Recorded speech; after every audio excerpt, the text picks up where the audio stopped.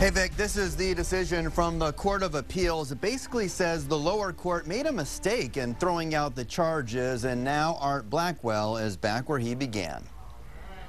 Stunning decision from the Michigan Court of Appeals. The court reinstating embezzlement charges against Art Blackwell. Blackwell is accused of stealing money from the city of Highland Park while he served as the city's emergency financial manager. But Wayne County Circuit Court Judge Cynthia Gray Hathaway dismissed the case, saying Blackwell had the authority to write himself checks. This was Blackwell speaking with Action News after that decision. Very pleased, uh, elated, uh, relieved, thankful. Uh, it's been a long journey.